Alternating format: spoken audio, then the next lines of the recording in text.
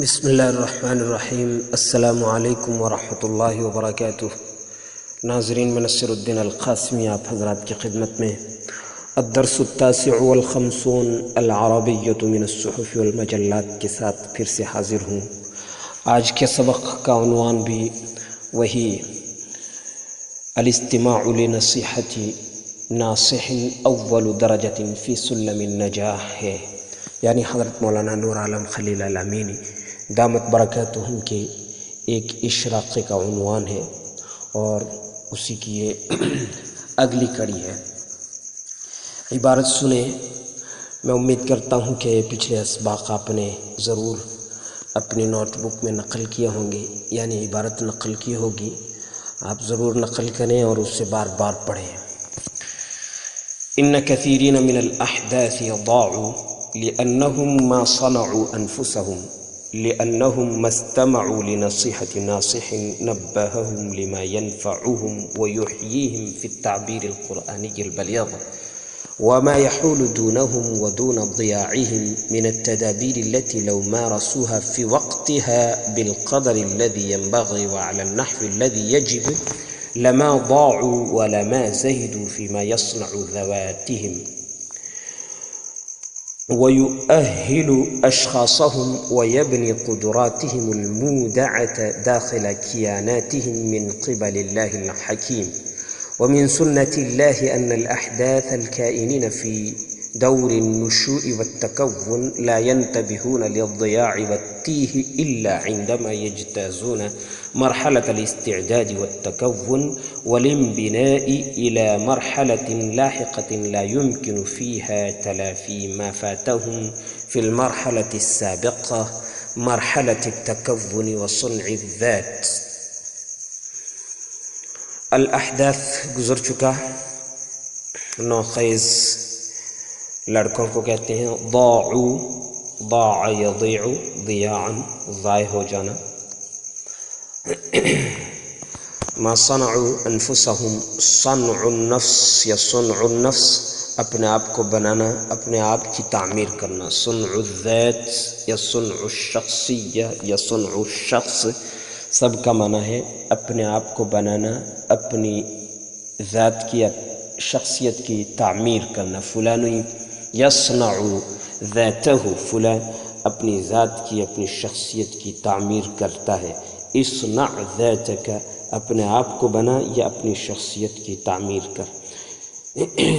مستمع لنصیحت ناصح نبہم نبہ ینبہ تنبیہا، بیدار کرنا، متنبہ کرنا، آگاہ کرنا۔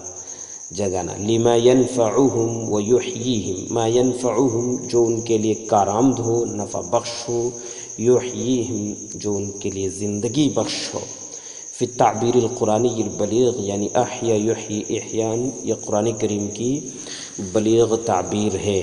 زندگی بخشنا یعنی حقیقت میں وہی زندہ ہے جو زندوں کی طرح کام کرے۔ جیسا کہ کہا ہے کسی شاعر نے،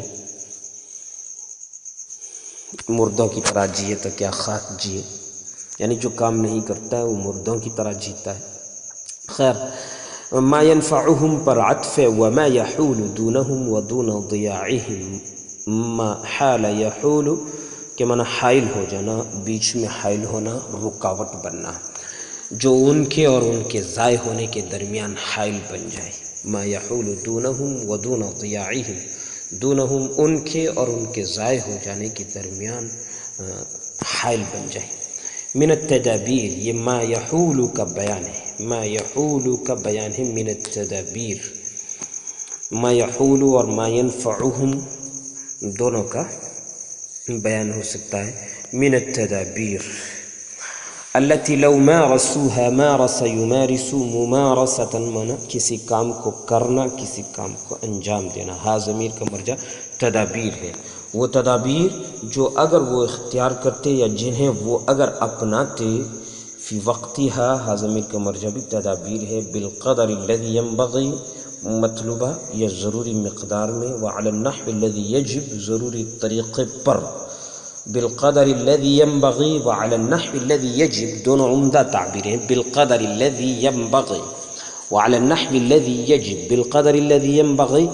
ضروری مقدار میں، وعلی النحو الذي یجب، ضروری طریقے پر۔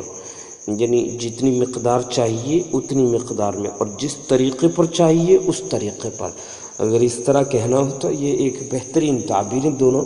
بالقدر الذي ينبغي وعلى النحو الذي يجب دونوں بطور خاص نوٹ کرنے کی لما ضاعوا لو ما رسوها کی جزا ہے؟ لو ما رسو لو کی جو شرط آئی تھی، لو کی شرط اور جزا دونوں جیسا کہ آپ کو معلوم ہے ماضی ہوتے ہیں، اس لیے جزا پر عموماً لام لگتا ہے۔ لما ضاعوا ولما زہدوا۔ زہید یزہد فی کذا، کا منع ہوتا ہے بیزار ہونا، کسی چیز سے۔ زہید یزہد عن کذا۔ زہید یزہد فی کذا۔ فی کذا کے منع ہوتا ہے بیزار ہونا۔ ويؤهل أشخاصهم.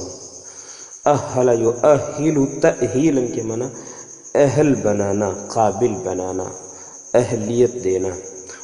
ويبني قدراتهم المودعة. بنا يبني بنان كما تعمير كما هي. قدرات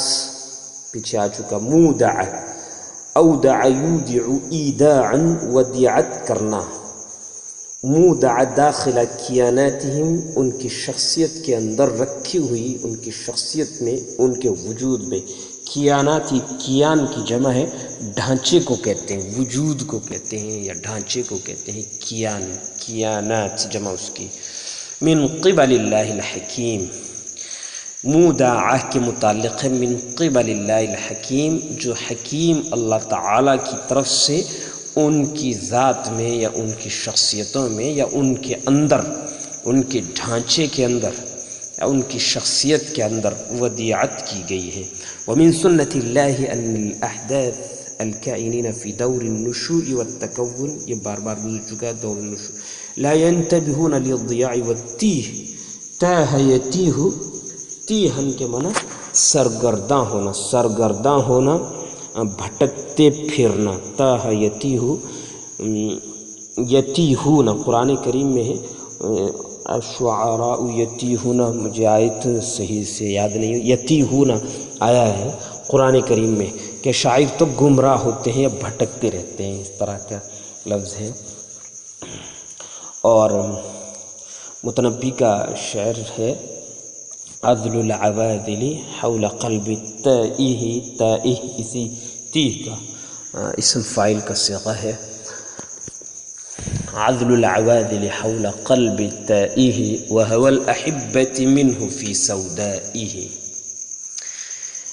عندما یجتازون اجتاز یجتاز اجتیازن کے معنی آگے بڑھ جانا پچھلے سبق میں آیا تھا تخطی تخطا یا تخطا تخطیل اس کے معنی بھی آگے بڑھ جانا اسی کا مترادف ہے یہ اجتاز یجتاز مرحلة الاستعداد یجتازون کا مفعول بھی ہے والتکون والامبنا امبنا یہ بنا یبنی کا لازم ہے بنا یبنی بنا ان تعمیر کرنا شخصیت کی تعمیر کرنا شخصیت کو بنانا کچھ بھی بنانا، شخصیت کو ضرور نہیں، مکان وغیرہ بنانے کے لیے بھی بنا یبنی استعمال ہوتا ہے۔ اور ام بنا، باب انفعال ہے۔ بننا ام بنا، یم بنی، ام بنا۔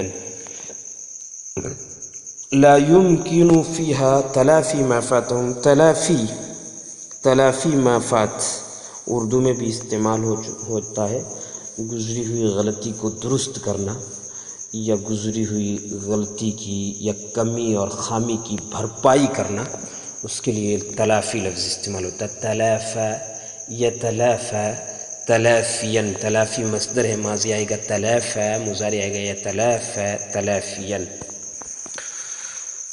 آج مختصر سا میں نے سبق لیا، پچھلے لمبے ہو گئے تھے، اس سے مجھے بھی تھوڑی ویڈیو بنانے میں دقت ہوئی تھی اور سننے والوں کو بھی ظاہر ہوتی ہے اس لیے بعض حضرات کی پہلے ہی سے رائے تھی کہ سبق مختصر ہو تھوڑا۔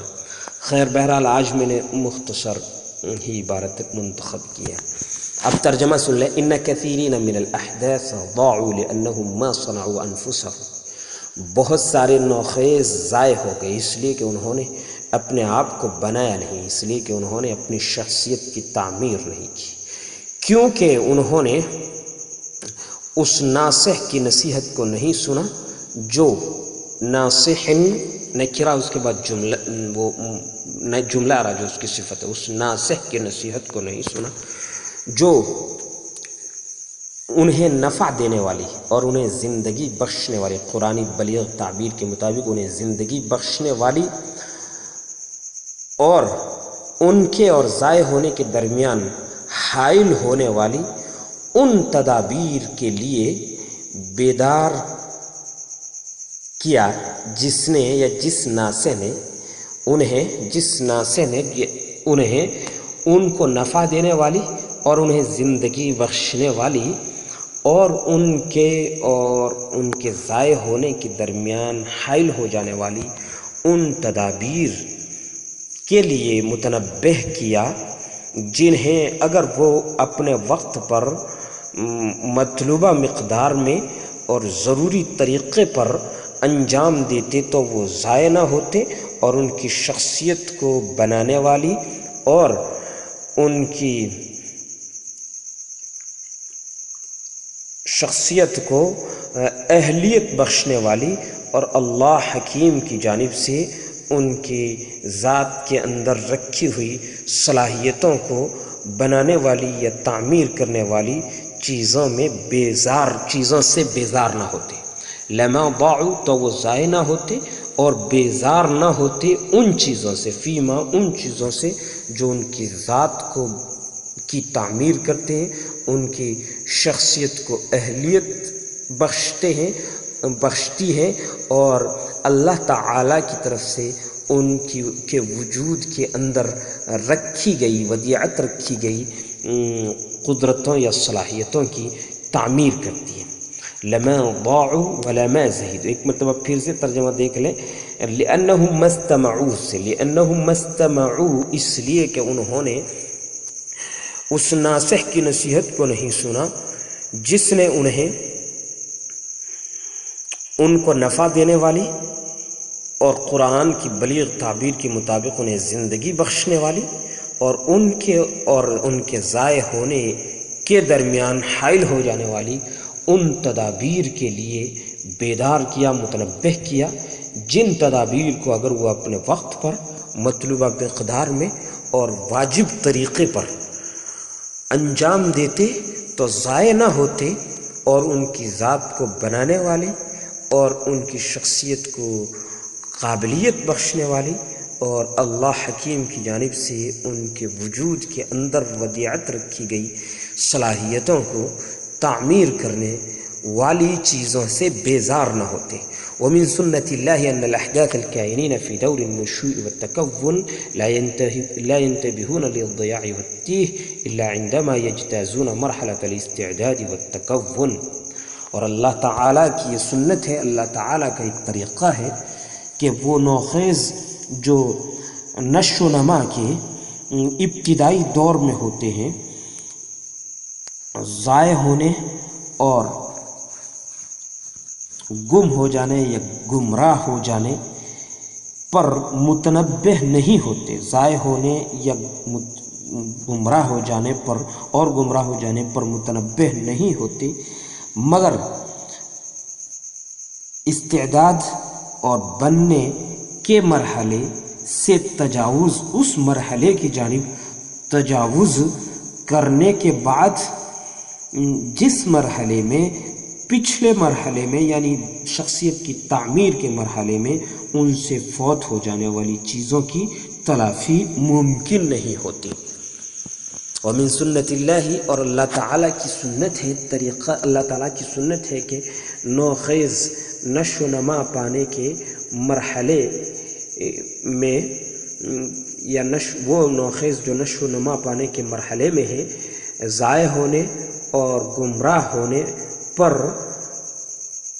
اسی وقت متنبع ہوتے ہیں جب وہ استعداد اور تعمیر شخصیت یا تعمیر ذات کے مرحلے سے اس مرحلے کی طرف تجاوز کر جاتے ہیں، جس میں پچھلے مرحلے میں یعنی تعمیر تعمیر ذات یا تعمیر شخصیت کے مرحلے میں ان سے فوت ہو جانے والی چیزوں کی تلافی ممکن نہیں ہوتی۔ یہ ترجمہ ہو گیا ہے۔ آپ سے امید ہے کہ آپ عبارت غور سے سنیں گے اور بار بار پڑھیں گے اور جملے اور تعبیرات نوٹ کریں گے اور ضرور ویڈیو آگے سے زیادہ سے زیادہ شیئر کریں اور تبصرہ بھی ضرور کریں۔ ویڈیو پر تاکہ دوسروں سے فائدہ ہو۔ آپ ایک تعبیر کے بارے میں سوال کر سکتے ہیں، کسی لفظ کے بارے میں سوال کر سکتے ہیں۔ ضرور کریں تاکہ دوسروں کو بھی اس سے فائدہ ہو اور دوسرے بھی اس کا جواب دیں۔ السلام علیکم ورحمۃ اللہ وبرکاتہ۔ میں نصر الدین القاسمی، خادم ادارہ مرکز المعارف، راجستھان۔